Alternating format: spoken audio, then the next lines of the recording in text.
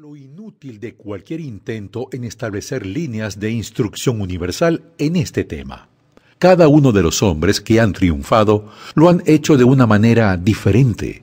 Tenemos solo líneas originales de acción por la facultad o característica conocida como individualidad. Estas parecen haber jugado un papel importante en el éxito de la mayoría, y la individualidad deja a aquellos que la poseen diferenciarse para que puedan apartarse de ese grupo de reglas o cursos de acción establecidos.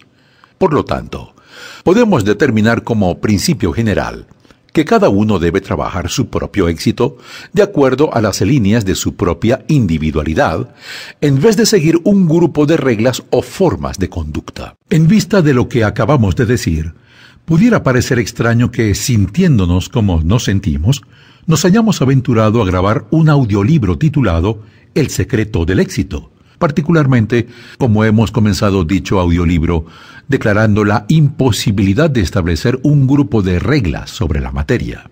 Esto puede parecer paradójico, pero un pequeño examen te mostrará que eso no es así. Ciertamente creemos que todas y cada una de las personas deben trabajar su propio éxito, de acuerdo a su propia individualidad, en vez de un plan preestablecido. Y es exactamente aquí donde el secreto del éxito entra de acuerdo a las líneas de su propia individualidad. Acabamos de decir que se debe poseer individualidad antes de poder trabajar de acuerdo a la misma. Y en la medida que poseas individualidad, en esa misma medida poseerás el primer prerequisito para el éxito. Y eso es lo que tratamos de decir por el secreto del éxito, individualidad. Cada persona posee una individualidad que está dormida y latente, pero solo unos pocos le permiten expresarse. La mayoría de nosotros somos como ovejas, trotando complacientes detrás de un líder seguro y firme, cuyas sonoras campanitas sirven de guía a nuestros pasos.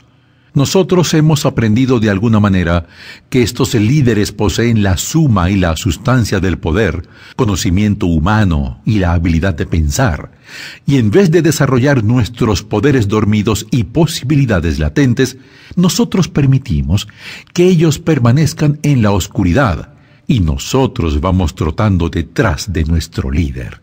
Las personas son mucho como las ovejas.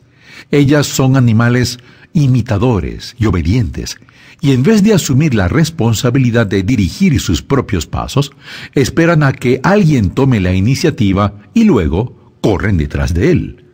¿Es acaso una sorpresa que los líderes reclamen escoger lo mejor para ellos y permitan al rebaño tomar solamente las obras? en lo absoluto.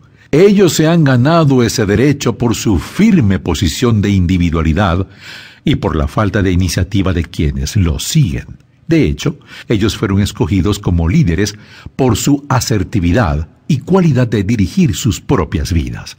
Si ellos hubieran quedado atrás modestamente, la manada los habría echado a un lado sin reconocerlos como líderes y se inclinarían a favor de otros que supieran cómo llegar al frente.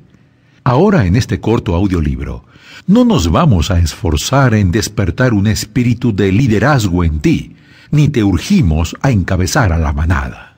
No hay nada más en el mero liderazgo de otras personas que un orgullo excesivo y mezquina satisfacción propia. Lo que deseamos es que posea suficiente individualidad e iniciativa, ser tu propio líder, ser una ley para ti mismo, en la medida de lo que sea posible en relación a los demás. Los grandes hombres, los hombres fuertes, no les interesan la manada, que obedientemente camina detrás de ellos. Los líderes no sienten satisfacción por esto, que solamente complace a mentes inferiores y gratifica solo a ambiciones y naturalezas mezquinas. Los grandes hombres, los grandes espíritus de todas las eras, han sentido más satisfacción de la convicción interna de fortaleza y habilidad que ellos sintieron desarrollar en actividad dentro de ellos mismos que en las expresiones de alabanza de la muchedumbre o en la sumisión de aquellas criaturas que decidieron seguirlos en sus pasos. Y esta cosa llamada